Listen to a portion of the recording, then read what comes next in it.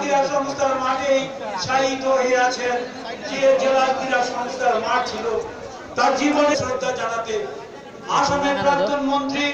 শ্রদ্ধেয় গৌতম রায় মহাশয় ওনার প্রিয় রানাদাকে সে শ্রদ্ধা জানাচ্ছেন। এবারে